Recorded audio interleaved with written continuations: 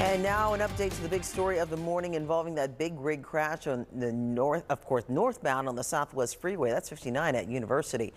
Look at the incredible images of the big rig itself. It plowed straight into this concrete pillar on the Southwest Freeway and the road sign too. And look at that, watermelons flying everywhere. It happened around 345 this morning in Sugar Land. The 18-wheeler container just ripped open the watermelons just tumbled down the roadway and spilled, causing, of course, backups and delays. No injuries were reported, which is definitely good news in all of this. But the question is, how is the traffic shaping up now? Because it's been hours since this all started. Well, Carrigan's been spending hours following it for us as well, and she joins us with the latest.